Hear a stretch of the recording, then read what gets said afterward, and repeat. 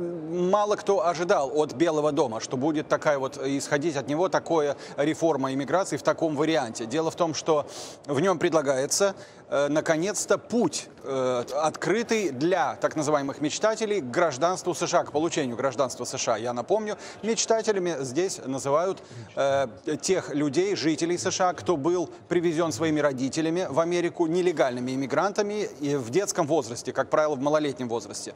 И вот, наконец, у них появляется возможность э, к, к тому, чтобы получить гражданство США. И как это происходит, это предусмотрено вот в этом предложении э, Белого дома но с соблюдением некоторых условий, которые касаются образования человека, э, его возможности трудоустроиться, ну и то, что мы называем моральным обликом, то есть чтобы у кандидата не было судимости и вообще какого-то уголовного прошлого.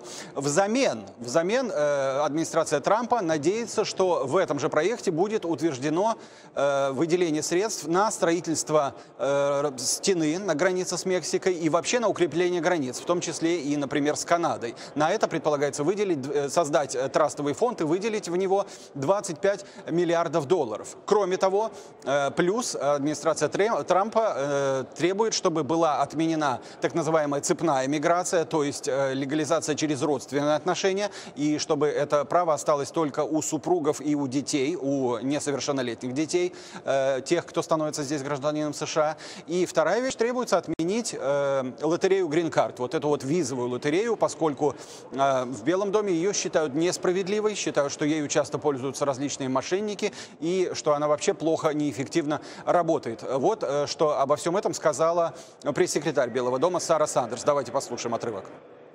Этот проект позволит сохранить четыре элемента, по которым согласие уже было достигнуто. Обеспечение охраны границы, прекращение семейной цепной миграции, отмена визовой лотереи и решение вопроса о ДАКА. После десятилетий бездействия Конгресса настало время для того, чтобы вместе решить эту проблему раз и навсегда.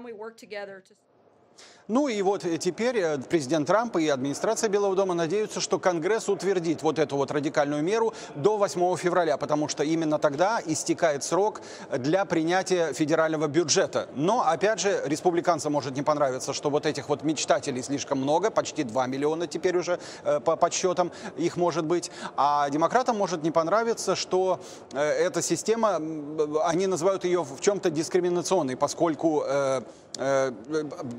принимать человека в Америку по его социальной значимости они называют несправедливым. Так что слово теперь опять за Конгрессом.